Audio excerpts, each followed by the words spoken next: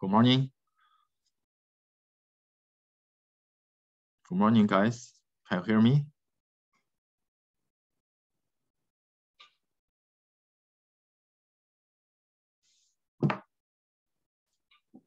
Okay, thank you. Any questions before we formally start?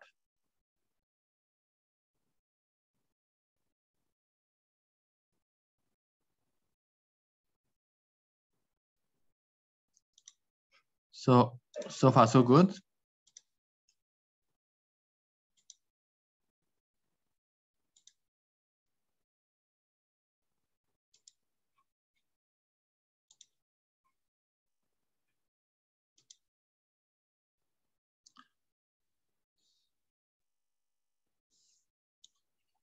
Okay, uh, in today's lab, uh, tutor will talk about uh, uh, homework two and the project related topic, right? So uh, please attend the lab, which is very important.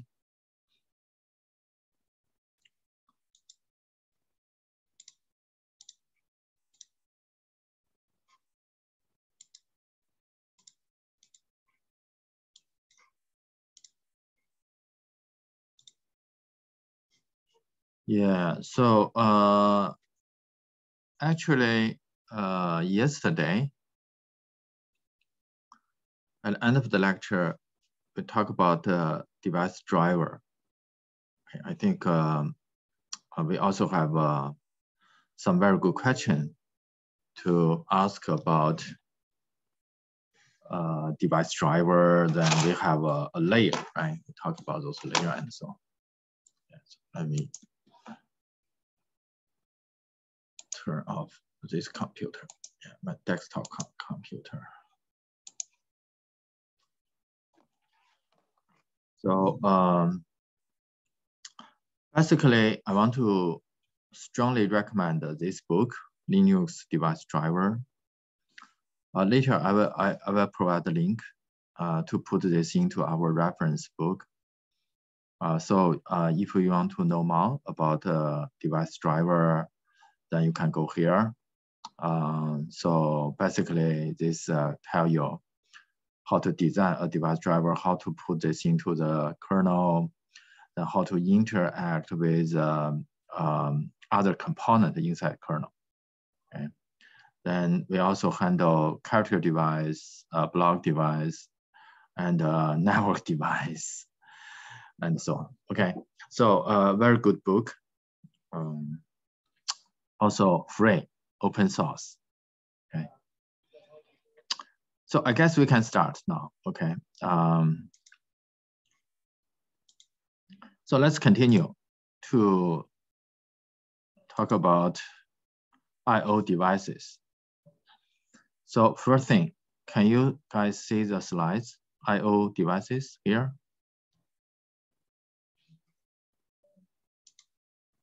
Okay, thank you.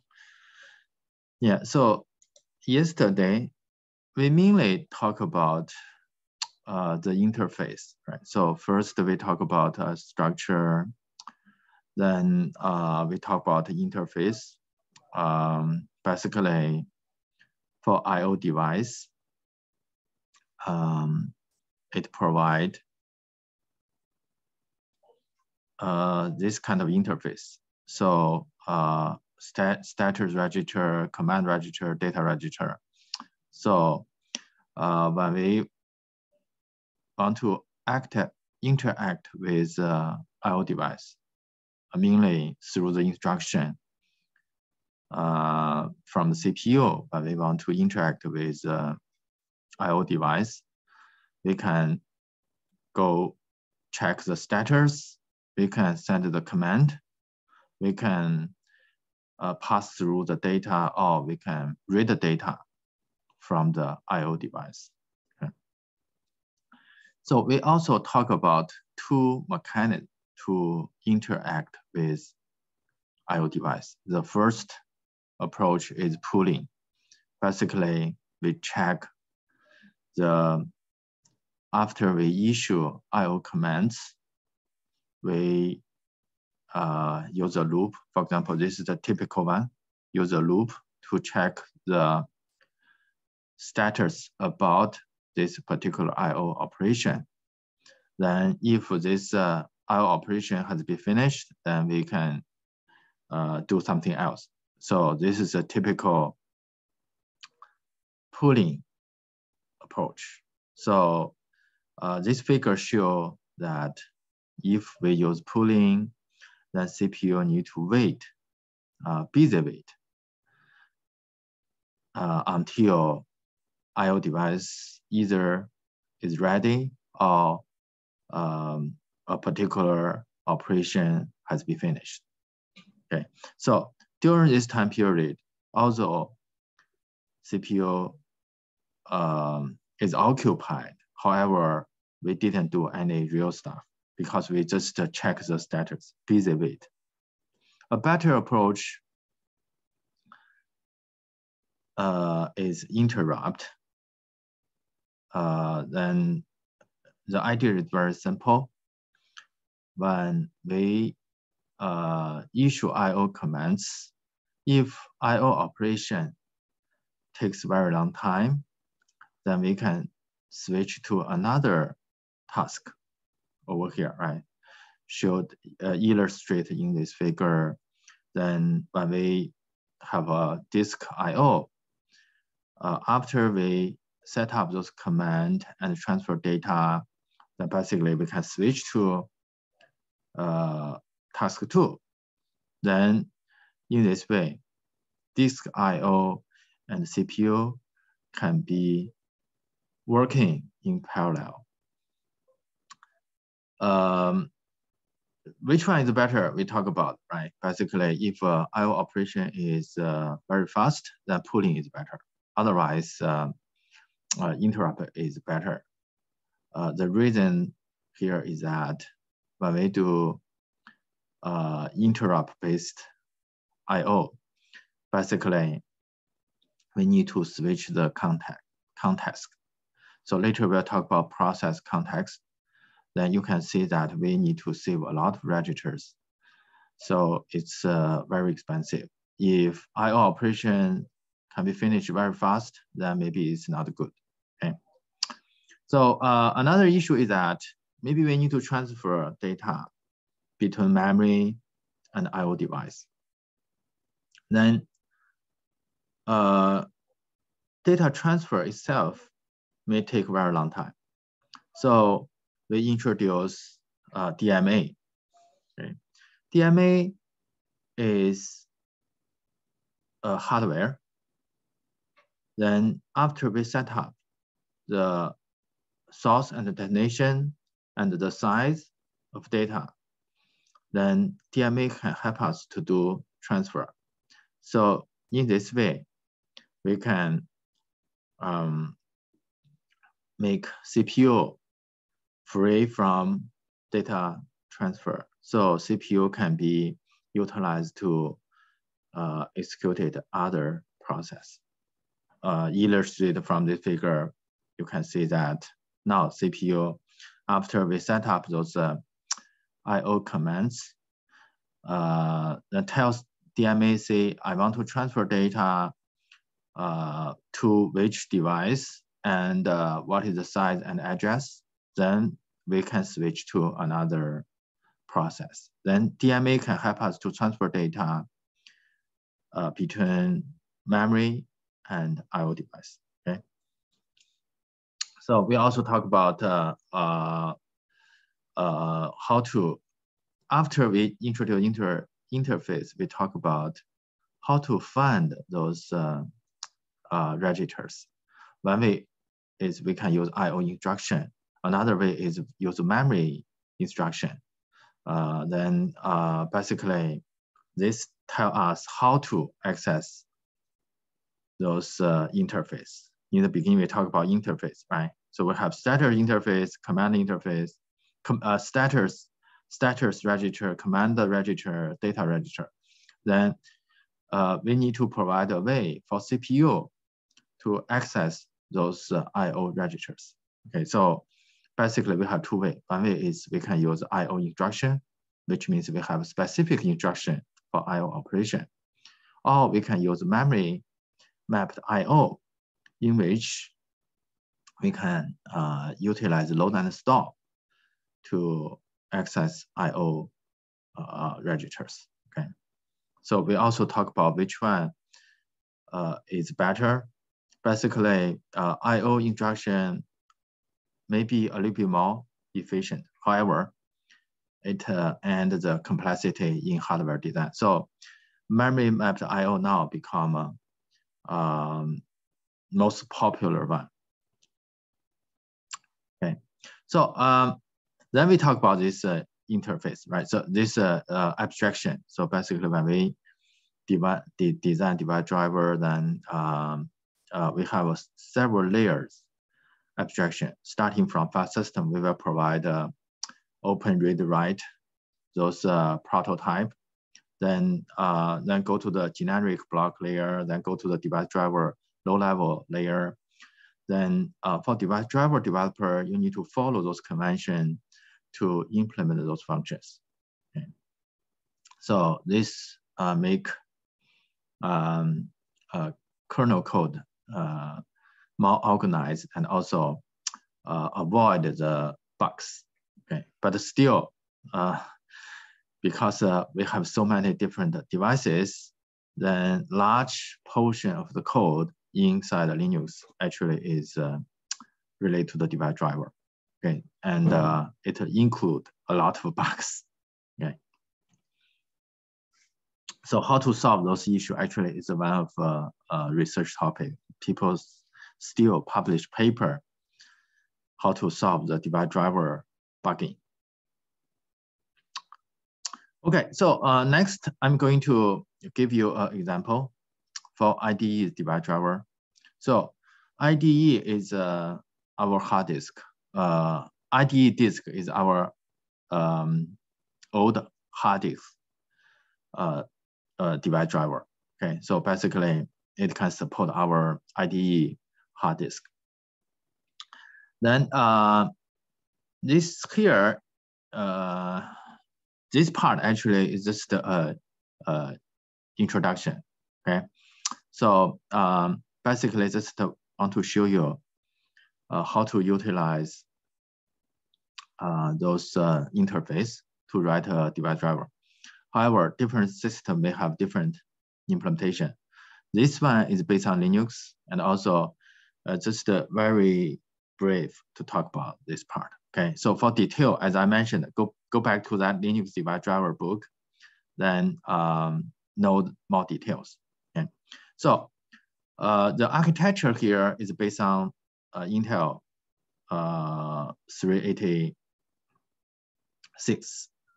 Um, basically, uh, we have we use in and out. You can see here we have in and out. Uh, IO instruction, then provide the port number. Port number basically is our address for different device. Okay. Then use this uh, port number then with different uh, value, then we can either transfer our data or set up our uh, buffer, blah, blah, blah. blah. Okay, all different kind of command status uh, data can be implemented through this uh, in and out. In basically, you can think about this read, read from the device. Out, basically, we want to write to the device. Particularly, uh, we have some control register related to the interrupt. This one is the most important one. So uh, when we issue read write command and also check the status. We will go to this address, this IO port address, IO address 1F7. Okay, then think about that. When we want to uh, operate hard disk, the most common operation are read and write.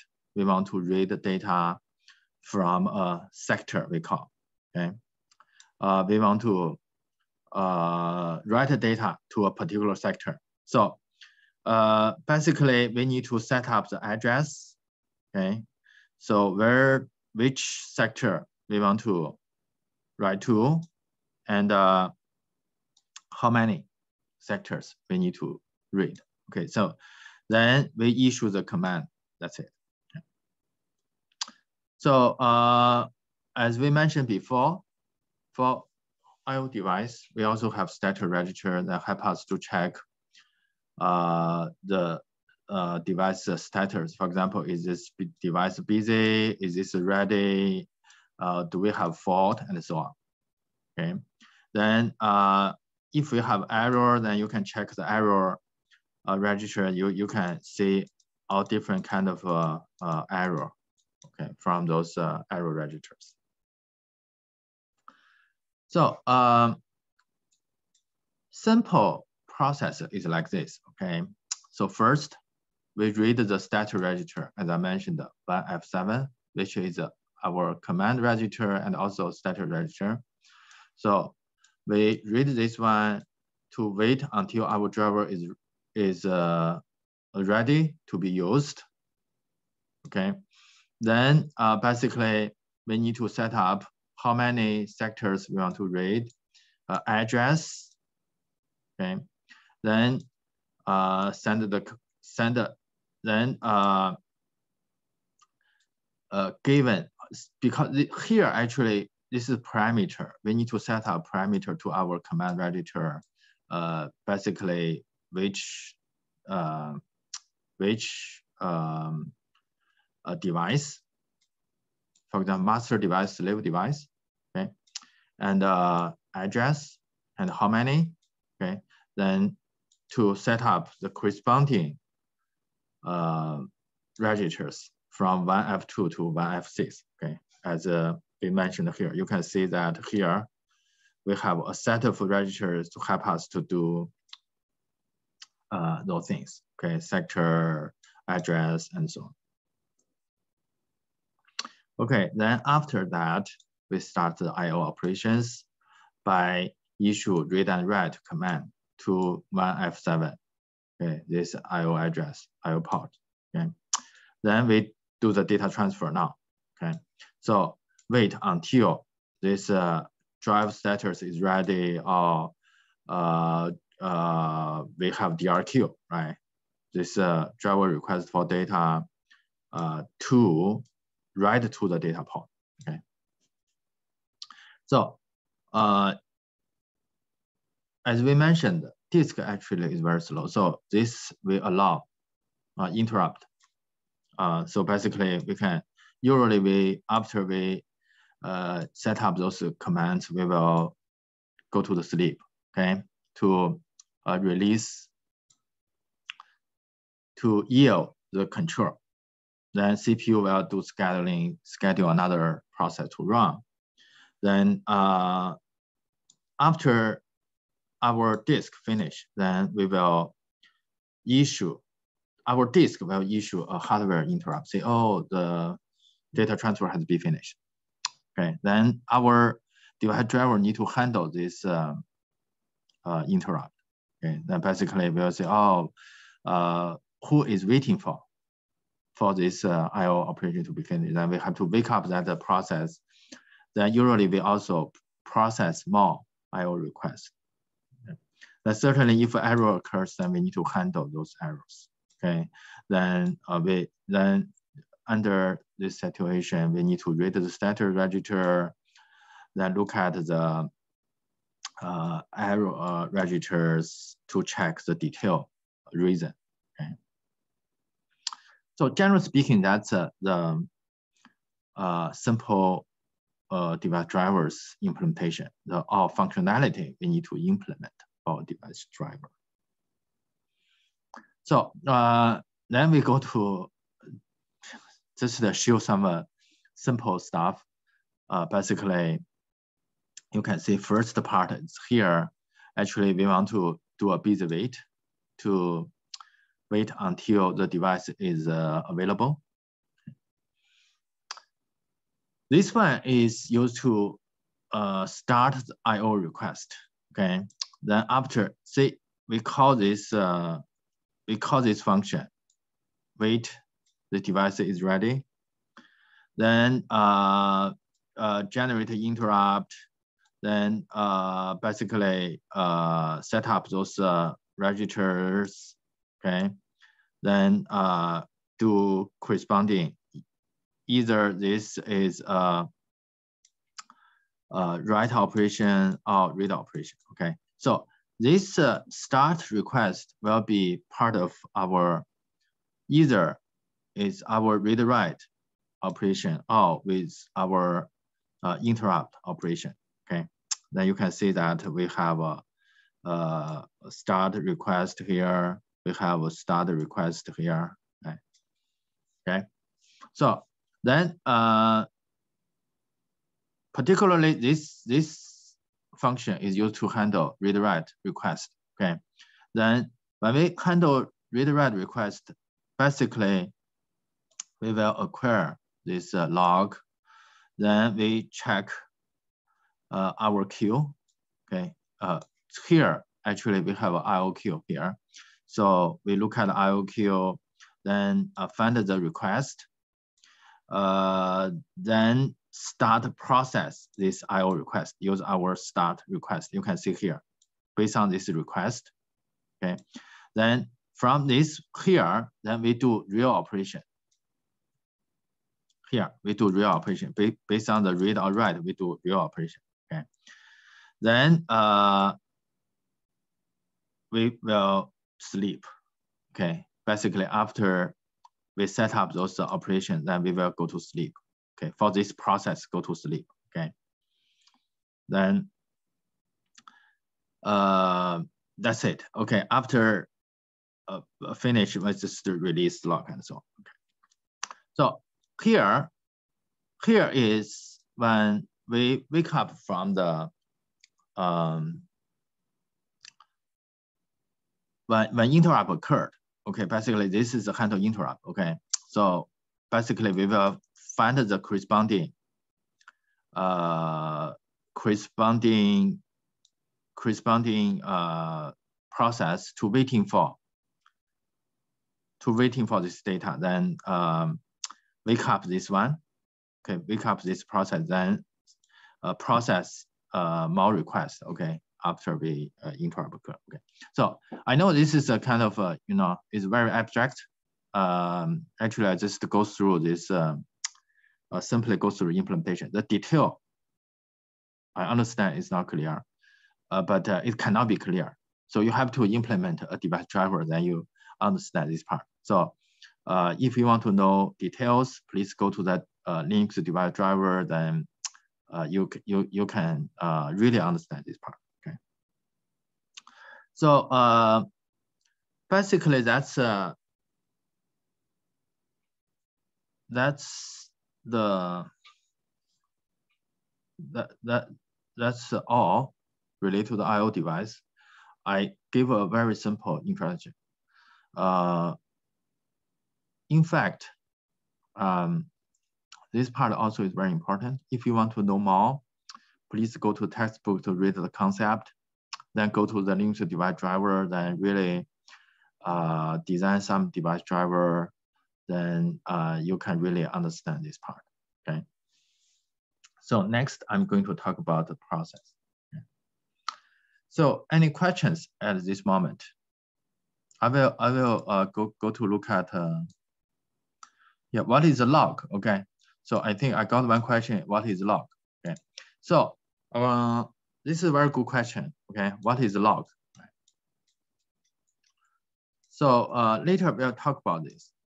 Uh, generally speaking, remember we talked about that concurrency issue, right? So before we talk about uh, uh, use that uh, counter, so we have two thread to count.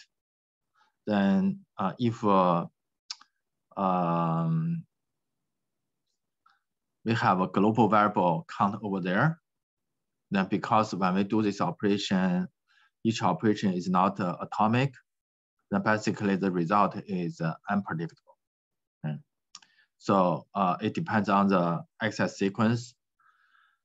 Uh, then whenever we have a shared variable, shared global variable, that will be accessed by multiple thread. For example, in this case, we have a uh, data structure.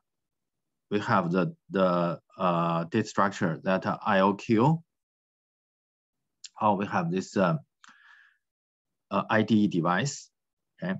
So basically, we want to create a um, exclusive, mutual exclusive access, which means that when we only we we only allow one process to enter this session to access our shared global variable. Okay, so then how to guarantee it? Basically, we have lock. Okay, we call lock. Okay, lock is kind of like our room log. Uh, the difference here is that after you get logged, you enter the room, which is our critical section, then you don't allow other people to get into it. Okay, then after you finish your operation, then you can unlock, release the lock. Then other people who want to utilize this uh, uh, shared variable, then can enter into this uh, critical section. Okay, so basically that's the lock. Okay. So we will talk about lock later. Uh, not only lock, how to use lock, actually we also talk about how to design lock. Okay, later. Okay, so it will be clear later. But generally speaking, we want to avoid um, concurrent access for a global variable if this global variable is shared uh, among a lot of different processes. Yeah.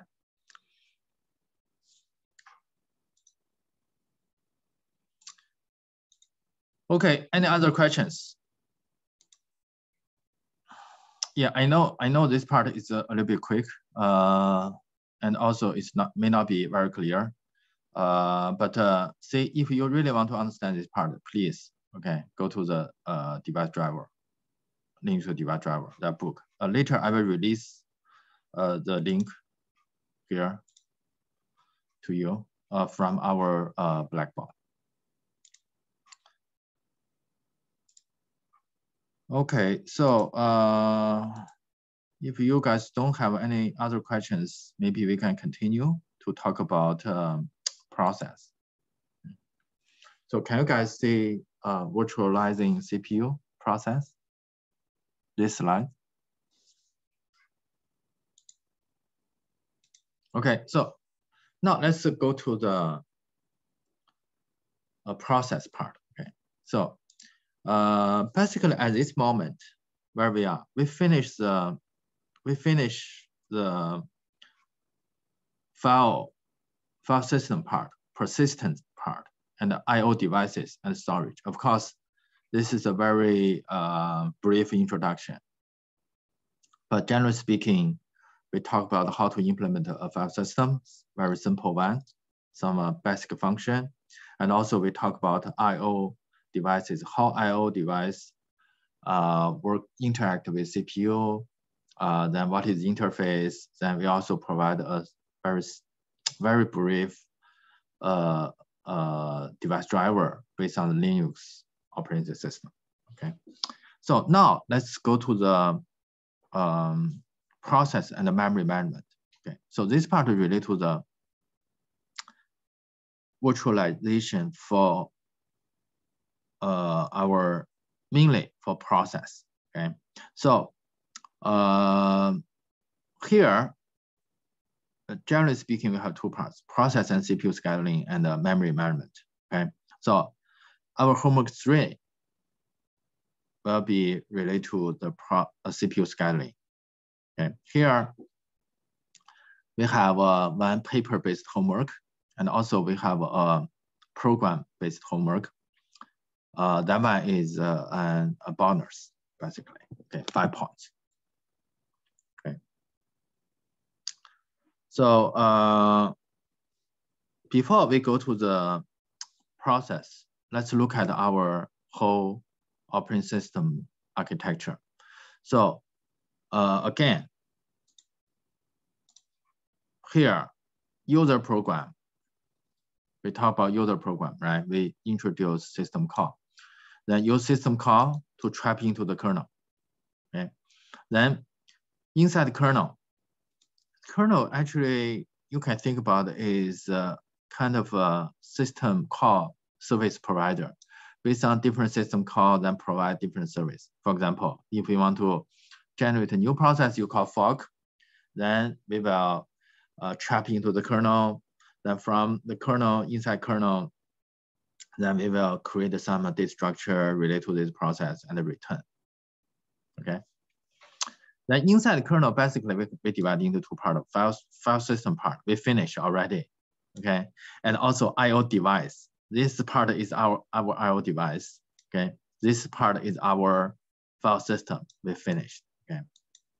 So another part is our process control. This is a huge part. Basically, you can think about uh, if you want to run a program, then you have to create a process. Then how to manage those processes inside kernel. This is our process control. Then it involves several issues. For example, how to manage memory. Because when we run a process, we need to load our data and the uh, program into memory. Then if we have multiple running program, we call process, multiple processes running at the same time, then we have an issue, how to manage the memory. Then if we have multiple processes running, uh, then we, with limited uh, physical CPU, then we have to decide which one to run. Then what is the mechanism to do the scheduling? Okay. Uh, another issue is uh, related to inter-process communication, how to do communication and so on. Okay, so first, let's look at the process from a very uh, high level, abstraction level. Okay, so remember we already talked about process, right? So you may wonder why we talk about process again.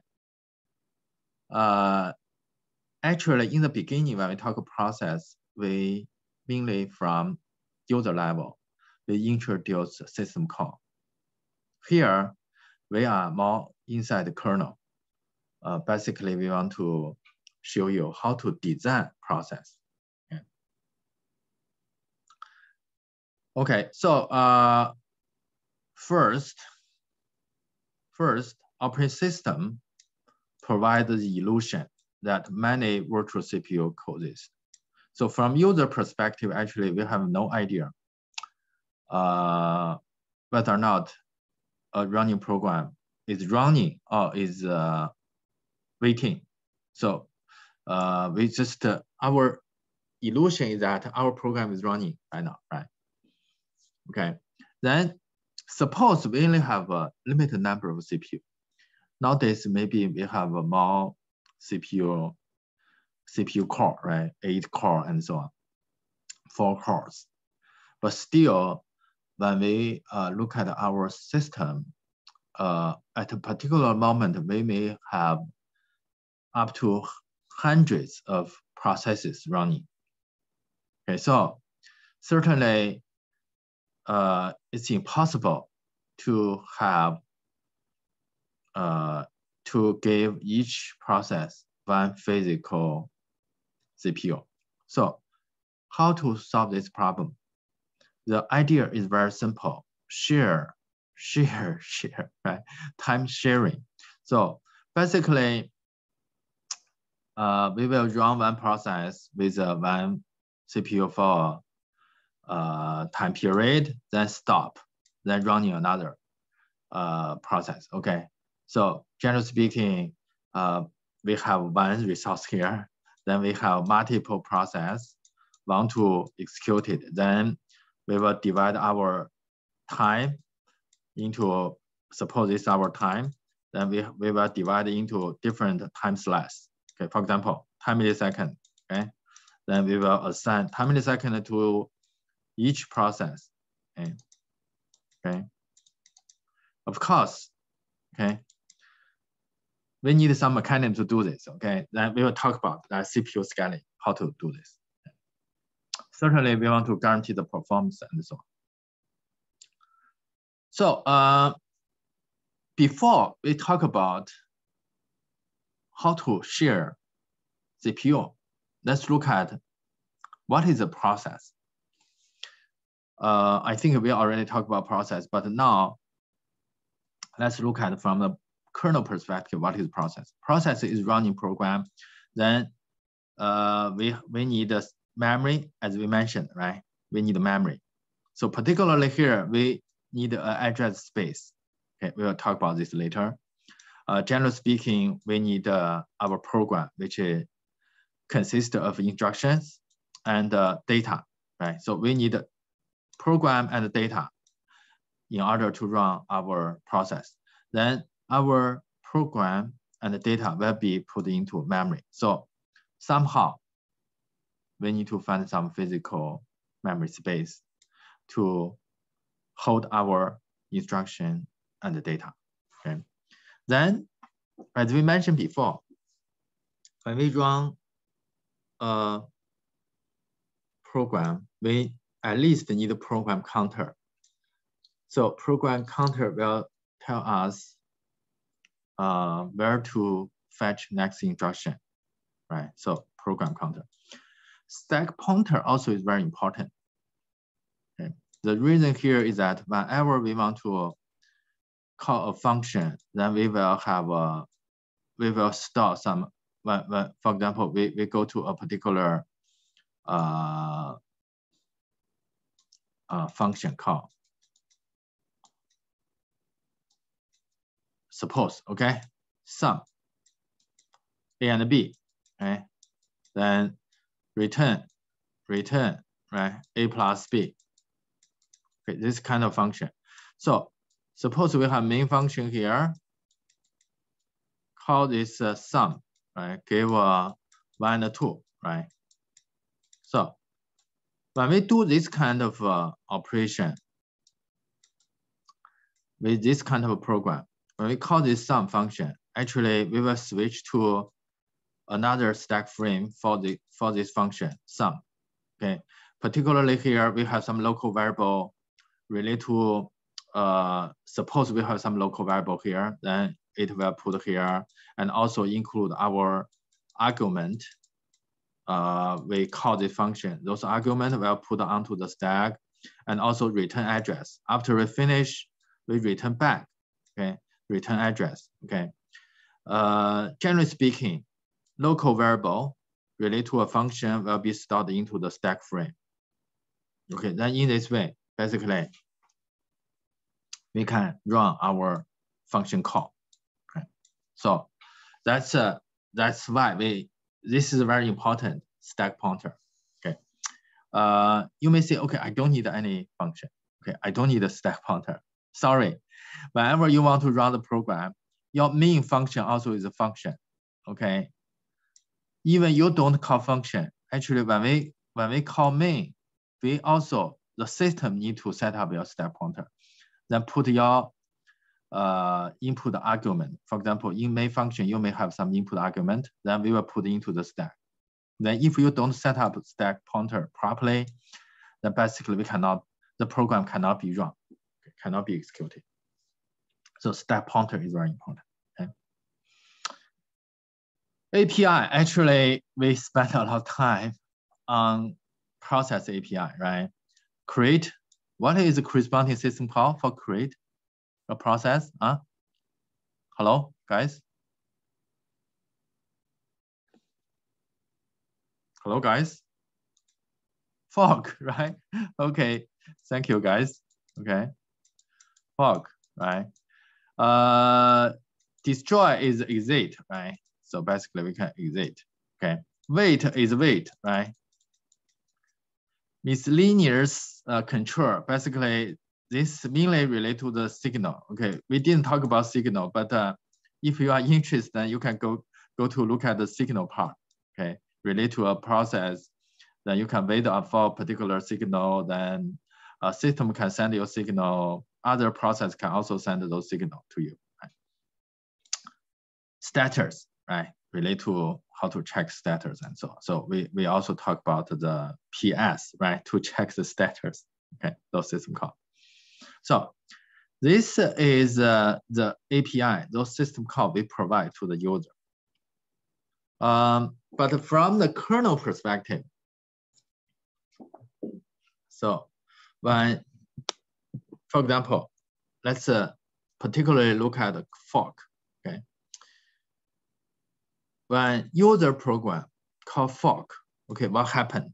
Okay, so this is a process uh, to relate to create a, a process. The process relate to create a process, okay? Yeah, so that's exactly I'm talking about. We want to create a process, right? This is the whole process related to create a process, okay? So first step, we need to load a program code, our program into the memory. Okay, particularly we need to load this into the address space of the process. Later we'll talk about this address space. Then it will be clear for every running program, we already built up an address space. When we compile this uh, program, when we make it become executable program, we already create an address space. Then load, loader. When we load this program to make it become process, actually we will follow this uh, uh, compila compilation address space, then uh, set up, load the program into the corresponding location, okay? Yeah, so uh, program initially is the executable format. For example, one common use is ELF format, executable uh, and link, link executable and link uh, format. Okay, this is widely used format. Okay, then follow this format, then we will load our program. So, however, when we do this loading process, we will do it very lazy uh, manner. So you may say, what, what, what does that mean? so how come we have a, a lazy and uh, do we have those uh, uh, diligent? Actually, this is not lazy, that's lazy, okay? So in computer science, we usually have lazy approach and eager approach, okay? Eager, okay, and lazy approach. Lazy approach means when we allocate the memory, actually we do it on demand. In the beginning, when we load this uh, process into memory, actually we only load uh, maybe it's one page. Okay, later we'll talk about it. It's a very small portion in order to run this process. Okay, then later on demand, if later we say, oh, we need this part, okay, then we will do allocate the physical memory space for this part. So this approach we call lazy. Okay. Another one is eager. Eager means, okay, I'm a very, you know, when we create a process, I, I will create, I will allocate all space, okay, for this process. So this is called uh, eager. So anyway, uh, consider our memory space is um, limit, is constrained. So when we load code or data into the memory, we only do this in an on-demand manner, which means when we need, then we will, uh, during, program, during program execution, when we really need this part of uh, memory, then we will load this uh, code and data into memory, uh, allocate the physical memory, so basically. Okay, second, relate to the stack. As I mentioned, okay, stack is very important, okay? So we will use stack to, for the function, local variable, then the parameter, when we call this function, those parameter and also return address need to be put into the stack, okay? So for example, for the main function, when we go to the main function, uh, usually we have some, uh, how many uh, parameters, what is each parameter, right? Those things will be put into our stack. Okay, so we need to set up our stack properly. Third one, related to the heap. I think we discussed heap a little bit. So generally speaking, um, uh, heap is used to uh, contain the data dynamically allocated using malloc. Okay, we talk about malloc. So basically, uh, those data will be uh, put into when we call malloc, those memory will be uh, allocated from the heap. Then we also need to do some initialization task. For example, uh, set up I/O devices, input-output device, uh, particularly uh, that console. Remember, we want to uh, when we create a process, we already have three descriptor, zero, one, two. Uh, all are mapped to our console device, right? Then uh, we have those uh, file descriptor, then connect to those uh, IO, inode correspondingly. Then later when we do IO, then we can go, go there, okay? After everything set up, then we go to the entry point, that uh, starting point from our main function. Then we call, we, we jump to, use a jump function, jump to that location. How to jump actually is set up our program counter. Okay, set up program counter. Then our program counter will hold the address, which is our starting entry address of our program. Then basically next the cloud sector will fetch the instruction from starting address. Then we start to uh, execute our newly created process. Okay. I know this is may not be clear. Okay. So, uh, but anyway, okay. I will I will discuss this uh, next week in more detail. Uh, but generally speaking, we we when we when we create a process, we have a in-memory image. You can think about it, we call address space. We have some code here. We have some uh, uh, data. Then we have a heap, okay? So go this way, then we have stack. Stack go uh, from the high address, then heap from the lower address go, go down, okay? Then we have code and the data. Uh, of course, this is static. Those global variable all initialize the data. Uh, static data will be put into our data section. Then our code is our program.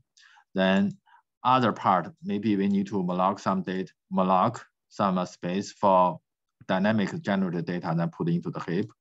Then when we call function, then we will stack frame put into our stack. Okay, so uh, this is our process image when we create the process. Okay. So uh, it's, it may not be clear. I know I introduced a lot of new terms. Uh, it will be clear later. So when we go through each part. So uh, time is up. Okay. So that's all for today's lecture. So uh, I'm going to answer your question. Um, so we will go to the we'll go to the QA section now. So uh, if you want to continue, you're, you're welcome. Then if you have a other important thing, yeah, you can leave now. So let, let me go to the whiteboard, then copy those questions. So somehow I didn't get those questions. Yeah, let, let me go to here again.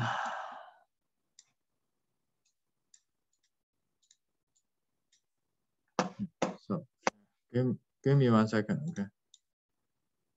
Copy those fun, copy those uh, questions.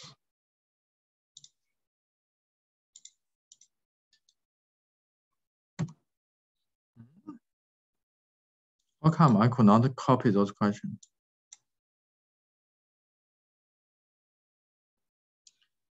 Yeah, so uh, I guess the one question is, uh, the first question is related to what? Lazy. Uh, is lazy very slow? Um, yes, that's a very good question, okay. yeah, somehow today I could not copy those questions.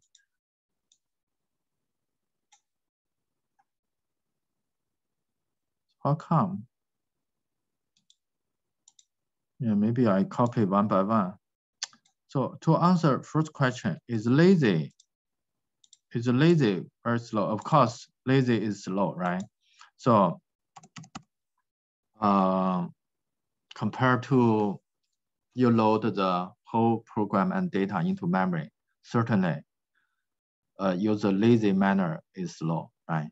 But uh, say uh, later you will realize, okay, uh, we have a lot of uh, process space actually we don't use. So um, uh, it's okay. Yeah, and also uh, we always have trade-off when we run multiple processes.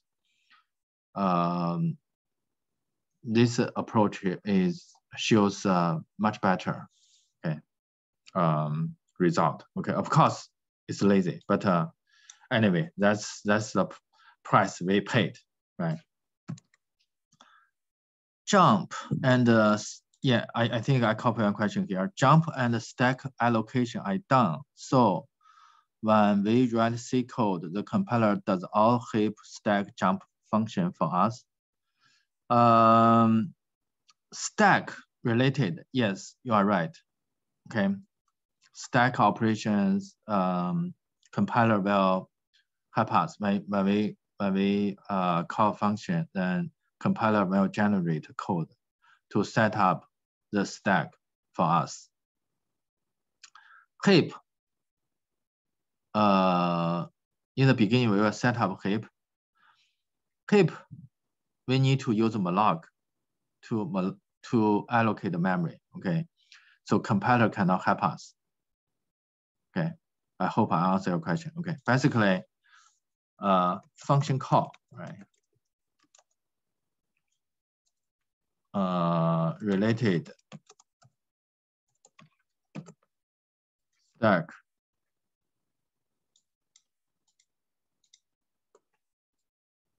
uh, stack frame will be set up by compiler.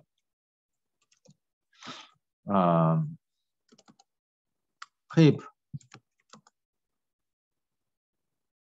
need users, right? Users malloc function, right? To, to allocate, right? So that's uh, my answer. So is this uh, clear? So how is a heap, how is, a, uh, so the next question, okay. So is a trade-off between the performance and the, yes, I think the question related to the uh, the lazy part, right? Is a trade-off between the space and the performance. Yeah, exactly. Okay. So when when we use the lazy, actually we trade the, the space for the performance. Okay. We want to save the space. Okay. You're right. So how is a heap implemented in the memory? Okay, so we will talk about heap later, but generally speaking, uh, heap uh, is a part of our virtual memory. Then um, uh, we will map over there. Then you can think about uh, uh, it's not very difficult. So uh, generally speaking, when you call malloc, we will see that, oh, this start from here start start from particular address, we should allocate some uh, uh, physical space. Then that's it. Okay. Then later, if we free, then we, we have to see, oh, this uh, this part of physical memory. Should we return to the system or we keep it? Okay. Then that part is a little bit complicated. Yeah. Yeah, but we'll talk about this later for the heap implementation. Yeah.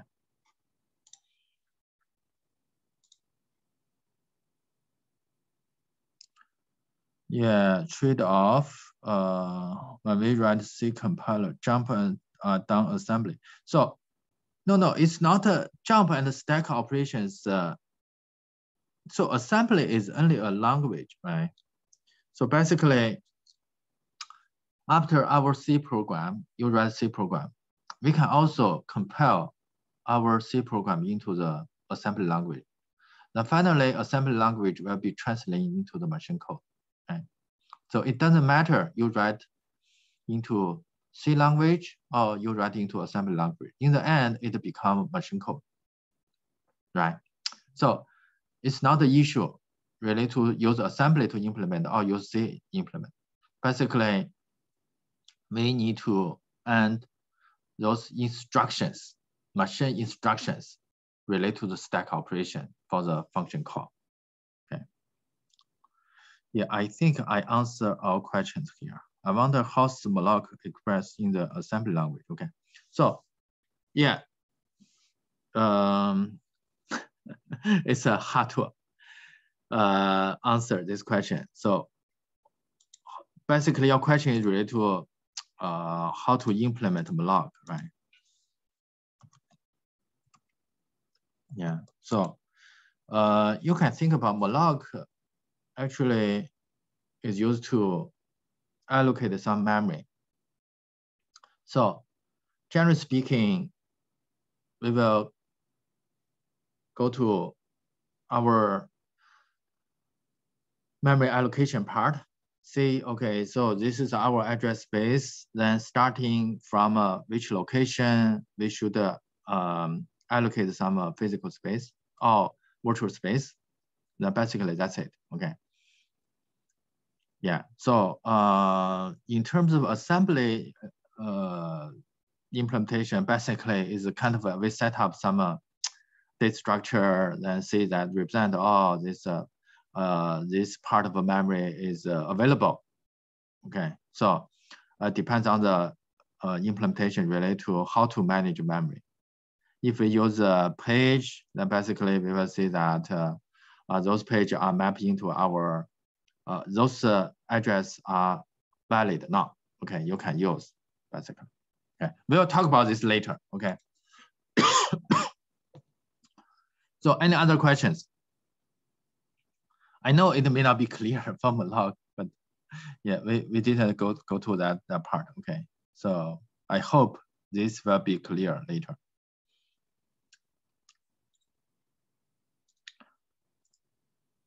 Okay, any other questions? Okay, looks like no more question. Okay, so uh, remember uh, today we have a lab. Please join the lab, okay, which is very important. Okay, then I will see you next week. Bye-bye.